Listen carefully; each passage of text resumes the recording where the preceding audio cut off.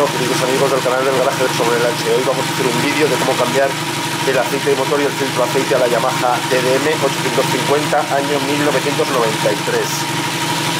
Eh, es de cárter seco, es decir, lleva un depósito de aceite y aquí podemos ver el nivel del aceite.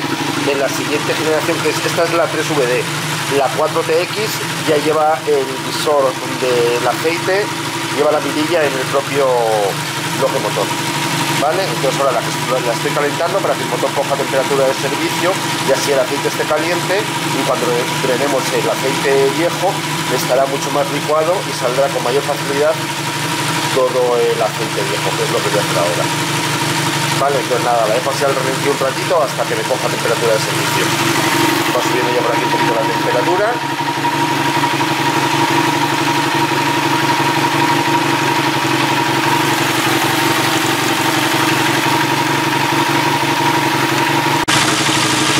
Bueno, pues el motor está ya a unos ochenta y tantos grados, así que ya podemos apagarlo.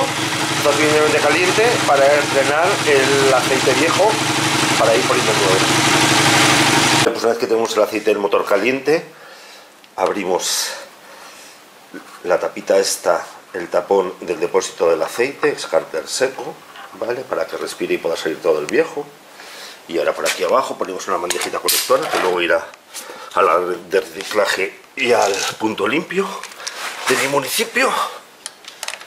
Y ahora cada una con un base 17 en el sentido contrario a las agujas, agujas del reloj quitamos el tapón de drenaje. Voy a poner guantes porque el aceite viejo es tóxico y cancerígeno entonces y además está caliente entonces no combina el, el contacto con el aceite viejo. Así que me voy a poner unos guantes y ya aflojamos esto. Bueno, pues nada. Ya me he puesto los guantes. Y ahora aflojamos esto de aquí, cuidado con la candelita. Y tendrá que ser ya todo el aceite viejo. Que va a ir a la esta. Fenomenal. Listo, ahora vamos a quitar el filtro del aceite, que es el otro sitio por donde sale el aceite viejo. Así que vamos a quitar el filtro del aceite. Una vez que hemos drenado parte del aceite por el tornillo de drenaje que está a nuestra izquierda, a la izquierda de la moto, ahora nos vamos a la derecha y tenemos que drenar el aceite por el tornillo de drenaje del filtro de aceite. Aquí está el filtro de aceite, está en la tapa del filtro del aceite, que ahora veremos cómo se quita, pero antes de quitarla tenemos que drenar el aceite por ese tornillo. Igual que el otro tornillo era de 17, este es de 14, ¿vale? No, menos de 14. Pensaba que era de 14, pero es... va a ser de 12, ahora os lo digo, de 12 va a ser. Efectivamente, el tornillo es de 12, ¿vale? Pues nada, venga, lo soltamos con la esta y vamos drenando aquí en nuestro bandejita. Bueno, pues ya lo hemos aflojado primero con la llave y ahora ya a mano. Cuidado que tiene una arandelita también, como el de drenaje de, del otro lado no perder la arandelita. Y ahora ya está a puntito de salir. Pues sí que es claro vale, ya está. Fijaros todo lo que sale por aquí también, ¿eh? sale un montón. Es que por otro lado no había salido tanto. Al ser cárter seco, igual por este lado sale tanto, más, ¿vale? fenomenal, mirad es de este tamaño, de largo. Y ahí sale, sale, sale, sale. Y se va a tirar un buen rato saliendo probablemente salga más aceite por aquí, por este tornillo de drenaje de este lado, que el del otro lado. Una vez que haya salido todo el aceite, quitamos estos, mirad, os los voy a enseñar. Los tornillos de la tapa del filtro del aceite, que son este, este y, otro ahí. Y aquí son tres, este, ese y ese, ¿vale? Venga, pues nada, esperamos a que termine de drenarse. Y listo quitando y ordenando los 3 y 2 5 tornillos de la tapa del filtro del aceite y he quitado este que es el más cortito, luego estos dos que son más largos y luego quedan estos dos a ver qué tamaño son, ¿vale? Este y este. Venga, pues termino de quitarlos y ahora lo vemos. Tener cuidado porque cuando ya aflojéis esto un poquito, al bajarlo vuelve a salir otra vez un montón de aceite aquí del filtro del aceite, ¿vale? Ese tornillo que digo yo que es de drenaje, el filtro de aceite, realmente es de drenaje del depósito del aceite. El depósito del aceite está aquí y por aquí baja todo el aceite y por ahí se drena. Y luego lo que es propiamente dicho el filtro del aceite son estos tornillos de la tapa del aceite, ¿vale? Vale, pues nada, ya parece que se ha vaciado todo el aceite que había dentro del filtro del aceite y continuamos. Este es el orden de los tamaños de los cinco tornillos. Vale, este es el de atrás del todo, este es el de los otros dos laterales y este es el de delante del todo. Y dentro delante del todo, el que está, según nos vemos, ¿eh? más a nuestra izquierda es más corto y el que está más a la derecha es más largo. Esto lo documento porque muchas veces uno lo quita con prisa, luego no se acuerda y ahí está documentado. Vale, aquí tenemos ya el filtro de aceite viejo que lo vamos a vaciar aquí y ahí va una tórica también y va como una especie de anillito que no hay que perder, ¿vale? Así que no lo volquéis esto en el aceite porque lo podréis perder. volcarlo pero sabiendo lo que volcáis y cogiéndolo para que no se caiga. Vale, venga. Sacado y limpiado y tenemos aquí esta tórica y esta tórica. Vamos a poner el filtro de aceite nuevo, este es el viejo y vamos a ver, eh, os digo que cuál es su referencia, os dejo un en la descripción del vídeo os dejo un enlace para su compra en Amazon de forma rápida. referencia es Iflofiltro HF145. ¿Vale? A ver si viene con las dos tóricas, espero que sí. Nuevas. ¿Vale? Esto va así, ¿vale? Esto que tiene más salida va ahí. Pues no, no viene con ninguna tórica. Así que tenemos que conservar las dos que tenemos, ¿vale? Debería de venir pero no viene con ninguna tórica. Así que nada, ponemos esto y otra vez vuelta arriba. No tener problemas en la instalación. La tórica esta de aquí la ponemos ahí en su asiento vale y esto lo ponemos aquí y ya lo subimos arriba vale y aquí lo citamos un poquito esta junta tórica de aquí la citamos. Y por los cinco tornillos de la tapa del filtro del aceite van a, a 10 newtons, ahí está, ¿vale? Ahí está, a 10 newtons van los 5. Ahora vamos a poner el tornillo este de drenaje de aquí. Bueno, pues el tornillo este de drenaje del... así lo dice el manual de taller, ¿eh? Tornillo de drenaje de la tapa del filtro del,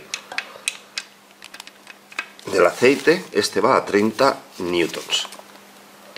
Ahí está, a 30 newtons, ¿vale? Y nos queda el otro, el del drenaje, el del drenaje normal del otro lado, que va a 35 newtons. Vamos a poner. Bueno, pues como decíamos, este de aquí, que le he puesto ya la arandela de cobre nueva, este va a 35 newtons. Y con eso tendríamos terminado todo el tema del drenaje y del filtro del aceite.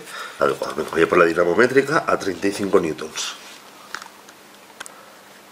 Bueno, pues ya lo tengo aquí a 35 newtons y ahora el siguiente paso es a poner aceite nuevo bueno pues ahora ha llegado el momento de echarle el aceite adecuado. Lo que nos dice el manual de taller es que dependiendo el rango de temperaturas de la zona donde vivamos debemos de escoger este, tipo de densidades.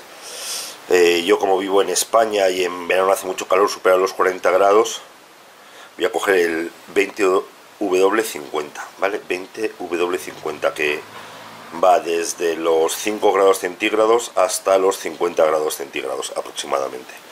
La otra opción es el 10W40, que llegaría hasta los 40 grados, pero estaría a menos 10, pero es que a menos 10 no sea casi nunca y apenas se coge la moto, pero por encima de los 40 a veces sí. Entonces lo tengo claro. También tengo muy claro la premisa de que todos los motores hasta el 98 eh, mejor aceite mineral. ¿Vale? A partir del 98 ya podemos empezar a utilizar sintéticos.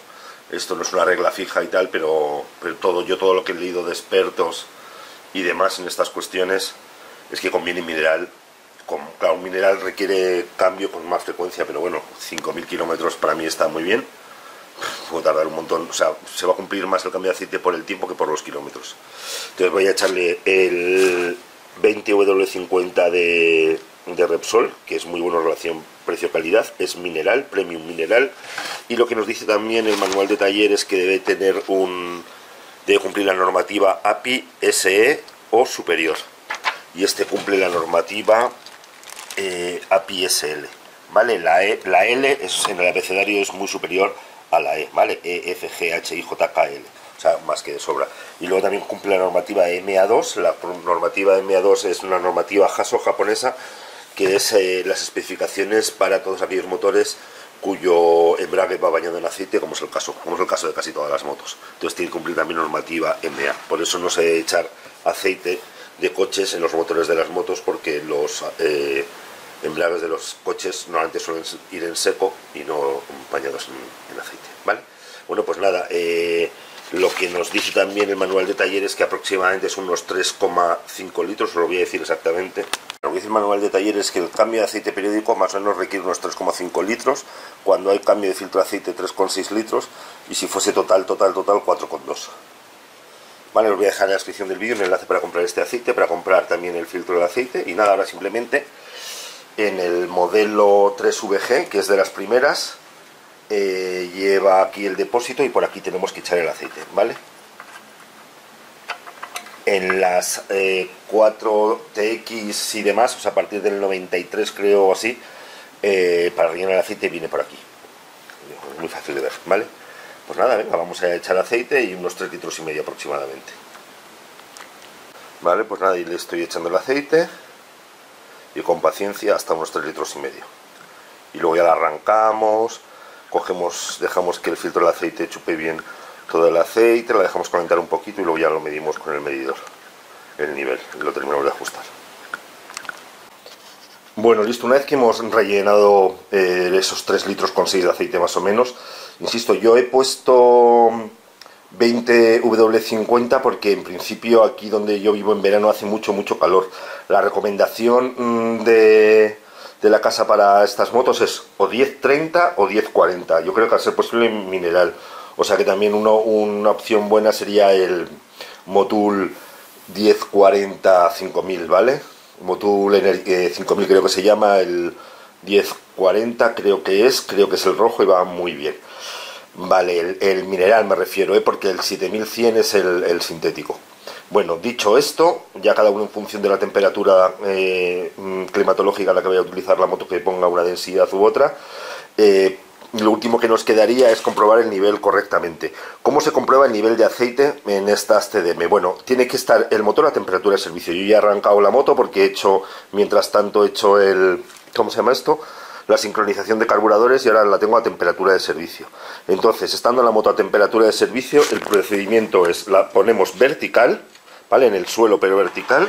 Si ponemos la moto vertical, eh, aflojamos el tapón, ¿vale? Con la mirilla del nivel. Aquí veo que le falta la tórica, voy a tener que poner aquí una tórica porque aquí va una tórica que aquí no está. Vale, bueno, ahora le pongo la tórica. Vale, ¿cómo se mide el nivel del aceite? Entonces, secamos con un trapito la varilla medidora, voy a hacerlo.